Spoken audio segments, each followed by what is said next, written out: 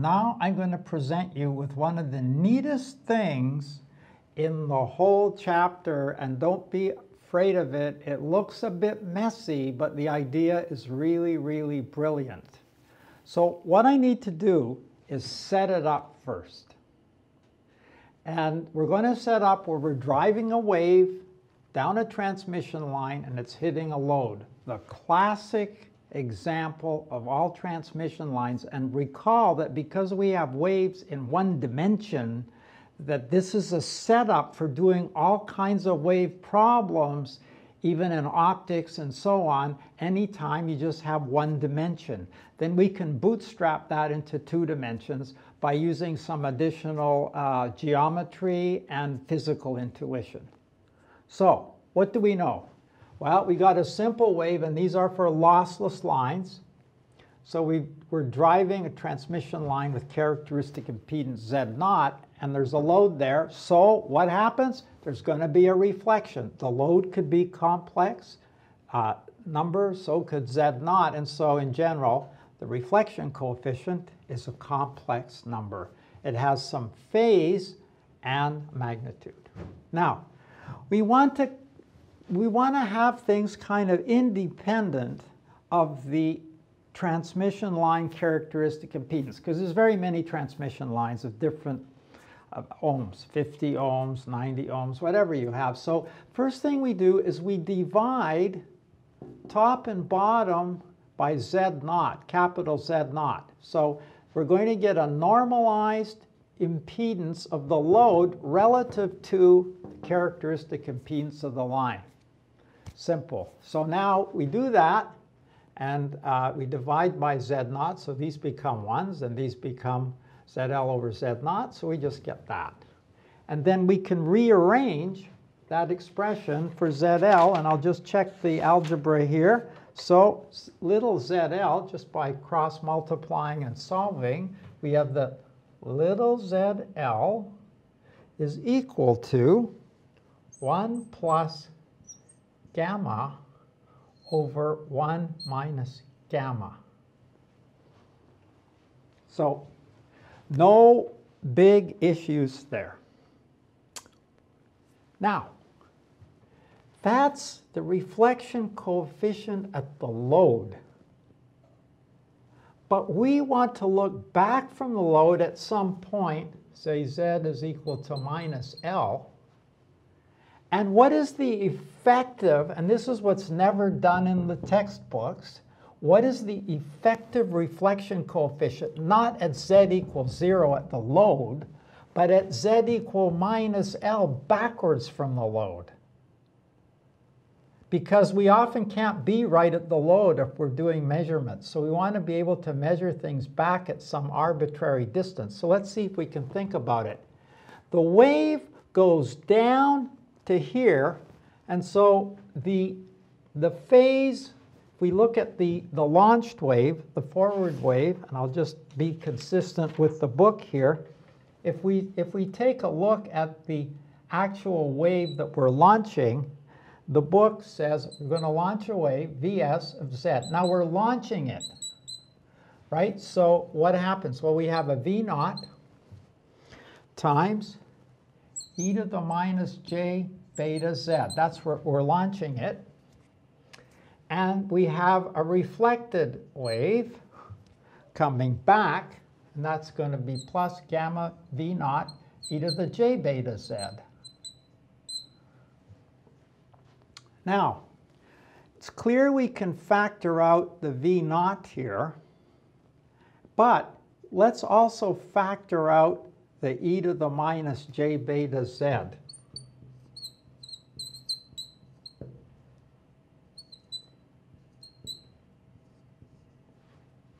1 plus gamma e to the 2j beta z.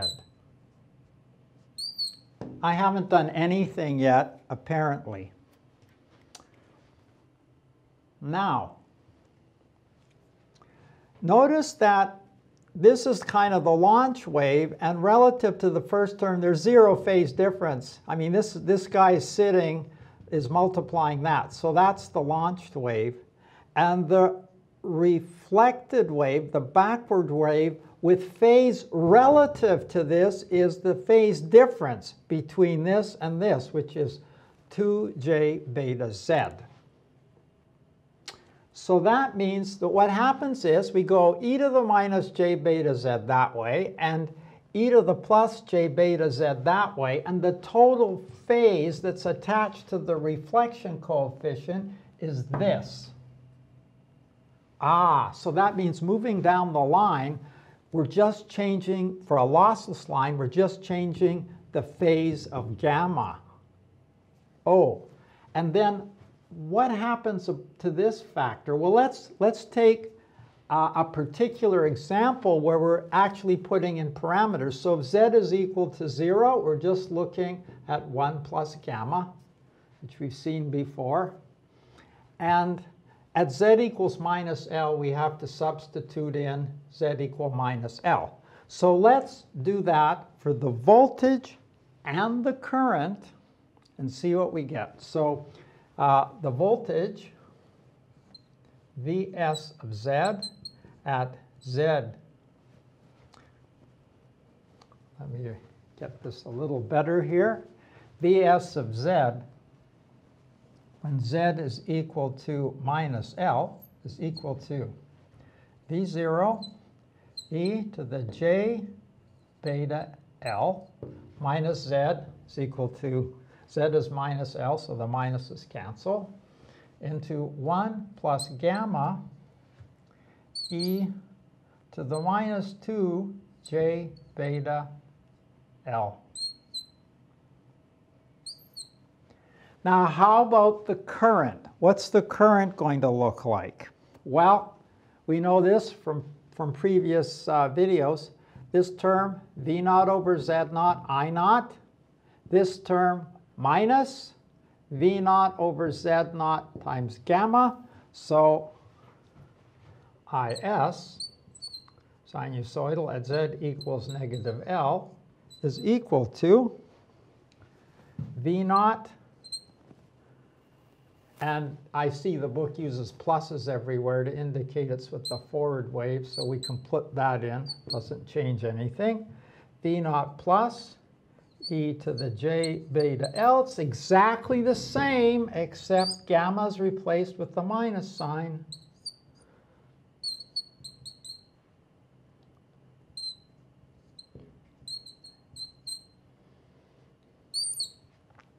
and we have to divide that by z naught.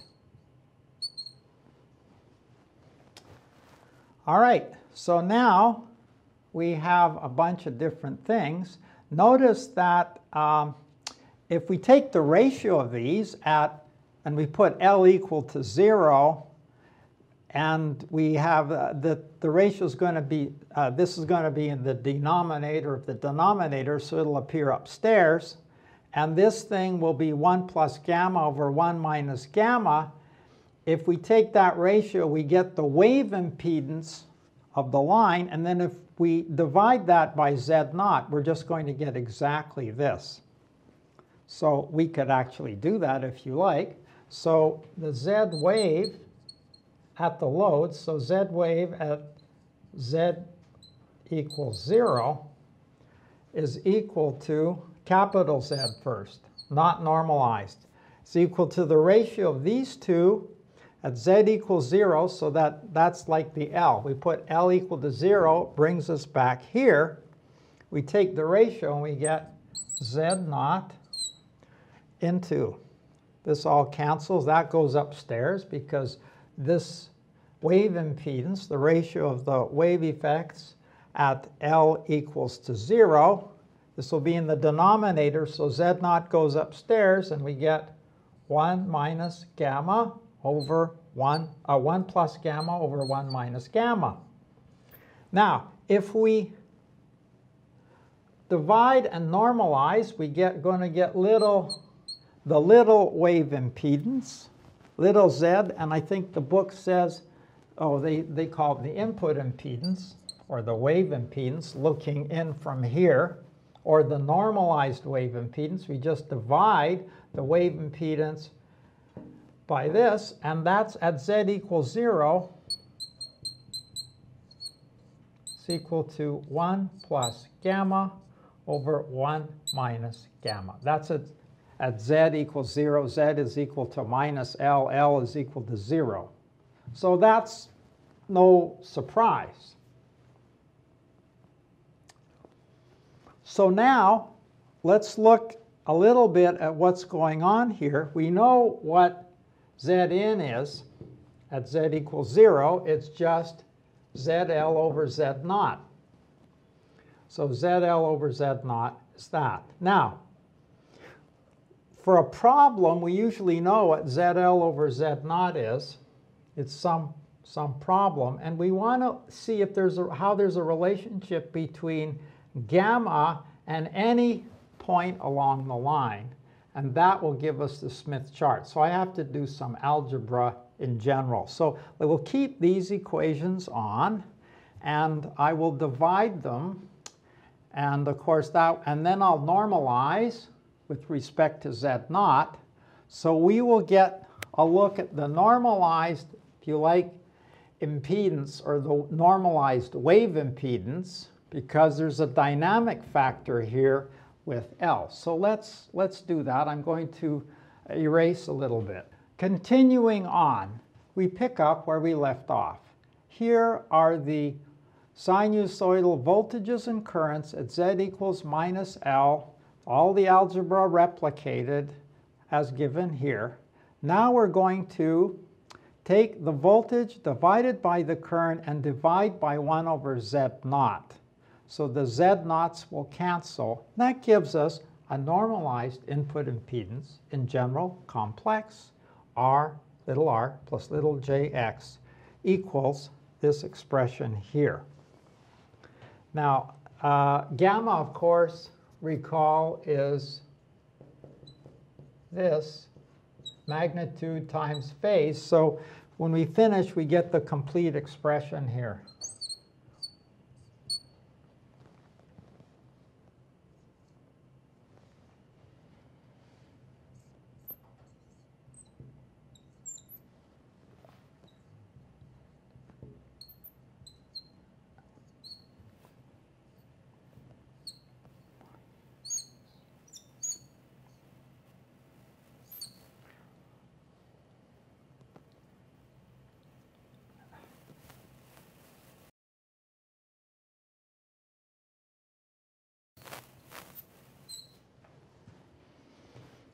Wow, that's a real mess. Now, tell me if you can get any intuition out of that formula. Well, somebody by the name of Phil Smith in 1936 was able to do it. But let's see sort of what his idea was. First of all, when phi is equal to 0, this is just gamma times e to the minus 2j beta L. Now, L, remember, is at the position minus L, referring to the left of the load. That's what the minus is. So the distance, in actual real distance, uh, without the sign, that physical distance is L here. So if L is equal to 0, this is equal to 1. And then as you move here, what happens to this? This phase increases so the value of gamma, which uh, the value of gamma, assuming this is zero, is just the magnitude of gamma. And this is e to something that depends on L. And as L moves away from the load, the phase, this, this factor here, don't look at the minus sign, this factor here is going to do what? It's going to increase. So that means it's a rotation. That means if we look at the voltage, what does the voltage look like? Well, the voltage is in a, in a complex setting, so there's, let's call this real and imaginary. What does this look like? Well, it's 1, that's easy. That's this point here, 1, 0, right there. And now we're adding this piece to it. Wow. What happens if phi is not equal to 0? Um, what does this look like geometrically? Well, let's assume that L is zero, so that disappears. And this is a complex number, phase angle phi and magnitude gamma. So let's put that in. And let's, let's put it there. So uh, there's the angle, and this is this. Now as L changes, this thing's going to rotate. So what we're going to get is a circle around like that, around the point 1, 0. Now, the one part isn't very interesting, except that if I'm sitting somewhere in this messy, complex plane, depending on what L is and gamma is, uh, I'm out here somewhere. And so if I if gamma is zero, where am I going to be? What's the size of this circle going to be? It's going to shrink to a point. It's going to be sitting right there. Well, if magnitude of gamma is zero, what happens to all this stuff? becomes 1. Because 1 plus 0 over 1 minus 0, right? If gamma is 0, we're sitting at the point 1, 0. And what's the input impedance then, the little z in? It's equal to 1. But that's normalized, so the real impedance is z naught. Oh, this might be a way of matching z naught to zl because we start at zl, we go back, we want to cook things up so we get z naught everywhere, and so we get a matching condition. Well, how do we do that? Well, this is where Phil Smith's genius came in he says, well, I've got these, this input impedance, R plus JX, and that's equal to, in general, 1 plus this gamma thing.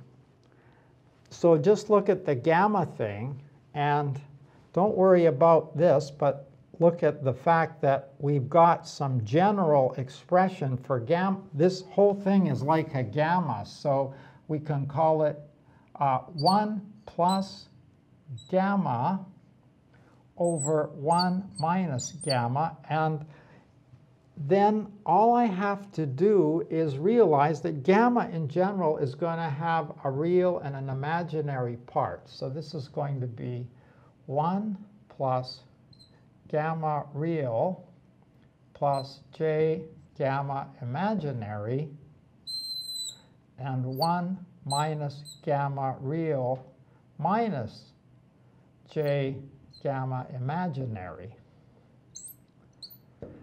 So this gamma here, when he writes it like this, can represent an arbitrary combination here. So if you like, you could write this as um, when, L is, when L is equal to 0, it's just what we know. It's our starting point. Then as we move around this circle, all it does is rotate the phase of gamma that we started with. So we just need to know how we get the real and the imaginary parts from this thing here. The one, the one way you can think about it is that this whole thing is a new gamma, but all we've changed is the phase factor. So all we're doing is rotating on this circle, moving around on that circle for a fixed radius, and that radius is given by gamma, which is this gamma, which is, we know how to calculate that from before. Now you have a lot of algebra to do and to find out what R and X are. So when you do that, you get families of funny circles. And that's what we're going to look at in uh, follow-up to this, is what do those circles look like? And how do we use those circles to do calculations? It's all based on this plus some in geometric intuition here so we need to understand how gamma works relative to the point 1, 0, because that's where we always want to get to. So when you're wandering around in this complicated mess here, which turns out to be called a Smith chart, you always want to end up at the center of the Smith chart circle. And at that point, everything is matched because Z in is equal to 1.